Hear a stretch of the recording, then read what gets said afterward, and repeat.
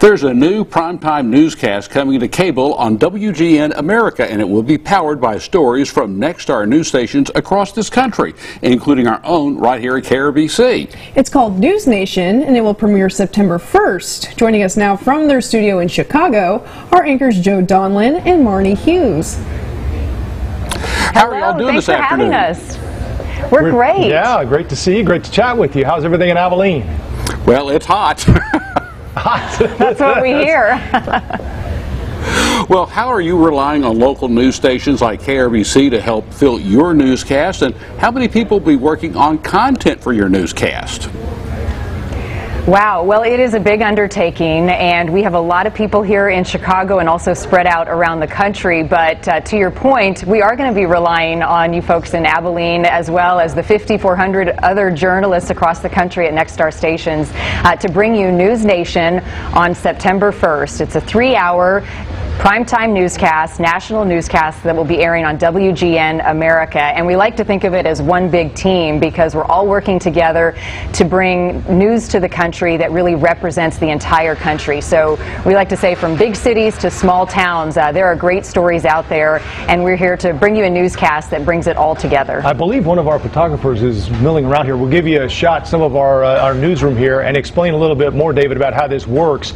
Uh, as you can see here, this shows you some of the zones in our newsroom, and this is really one of the impressive things about how we're operating here. These zone and regional managers populate the best stories from around the country and all of our Nexstar stations, like yours there in Abilene, as we mentioned.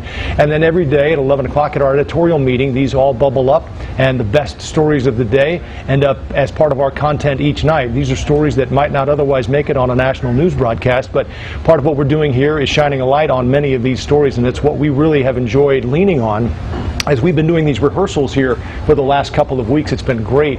And I guess, Marnie, I would say really a great example of how this is going to look. For example, as we covered Isaias, the hurricane, we were able to tap into all of our Nexstar stations along the East Coast and provide coverage as we went through the evening. And it was really an impressive asset and a sight to see. Yeah, and in addition to that, so we're in our newsroom, but we have an entire studio downstairs, and we're fine tuning a few of the things, including a brand new floor this weekend, uh, which is why we're not down there right now. But we have a state of the art studio that we will debut on September 1st uh, every night, and that's the, the studio where you'll see our news and really where we'll be able to highlight some of the technology that we have uh, that can take you to those big stories. For instance, if we're covering severe weather in Texas, uh, we'd love to have one of your reporters on our show and show us exactly what you guys are experiencing down there.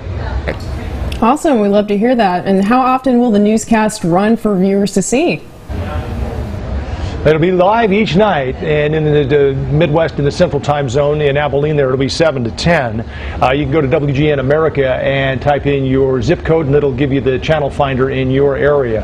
Uh, but right now, I believe it will re-air on the West Coast, but for everyone else, it'll just be a live show, 8 to 11 East Coast, and then 7, and 7 to 10 Central. Yep, three. It's three distinct hours of news. So we'll cover the news of the day. Of course, the news is the news, but uh, we want to have a little bit more depth than that, and that's where I think all of our affiliate stations come in, and we'll we'll lean heavily into into them and the partnership that they have with our zone producers to to bring you more stories. For example, last night we were covering Isaias, we were covering the explosion in Beirut, but we also highlighted a really great story of a little boy named Frankie in Connecticut who was doing some really cool woodworking art pieces and selling them during the pandemic to raise money for his community. So it's stories like that that often aren't getting told on the national scale uh, that we have room for in a three-hour newscast uh, to bring to the nation.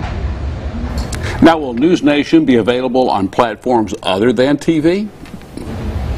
Absolutely, you have to be these days, right? I mean, we all uh, count on the streaming options, and I know that the uh, News Nation Now app will be available, and we'll be streaming 24/7 on that. In fact, I think if we can take a picture of uh, uh, some video, rather, of our digital desk, you'll get a better idea of where that will be set up. So that'll be running all of the time. Yes, so our digital desk is 24 7. Uh, while we're on TV three hours a night, we know we have to meet people where they are and make news accessible and easy to find. And so on multiple platforms, platforms, whether it's your smartphone, your device, your tablet, or it's on television. Uh, we're an operation that is set up to bring you news when it breaks uh, as it happens. And that's a priority for us uh, to make sure that we're accessible. And as we get ready for the launch on September 1st, another good place to follow us and also kind of the process as we do rehearsals and get, get ready to go is on all of our social media platforms. So search for News Nation now as we get ready for September. All right, awesome. And our last question here What's the main difference between News Nation and other primetime offerings from news channels?